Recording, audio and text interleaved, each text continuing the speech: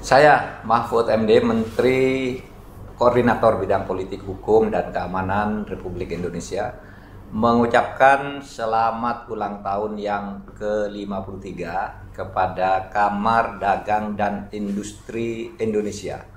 Semoga terus meningkatkan peran dan fungsi sebagai mitra pemerintah di dalam memajukan dunia usaha dan perekonomian nasional. Selamat ulang tahun yang ke-53 untuk Kadin.